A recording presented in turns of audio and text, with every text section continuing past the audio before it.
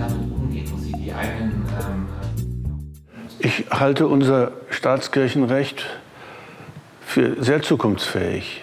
Äh, das Modell, ähm, dass der religiös-weltanschaulich neutrale Staat seine Bürger, und das heißt damit ja auch die Religions- und Weltanschauungsgemeinschaften einlädt, diese Gesellschaft zu bauen, den Staat zu tragen, gerade in einer pluralistischen Zeit, das halte ich für vernünftig.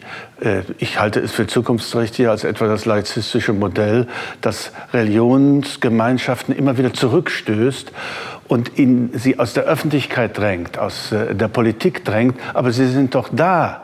Sie sollen doch eingeladen werden, die Demokratie zu tragen. Ich glaube, das Modell des Grundgesetzes ist deshalb zukunftsfähiger, weil es auch eine Einladung ist, nicht fundamentalistisch zu werden. Die Chance, nicht zu fundamentalistisch zu werden, weil man öffentlich miteinander umgeht und weil man sozusagen Verantwortung für dieses Gemeinwesen auch öffentlich sichtbar trägt. Und das, glaube ich, führt immer auch zur Mäßigung von Religions- und Weltanschauungsgemeinschaften.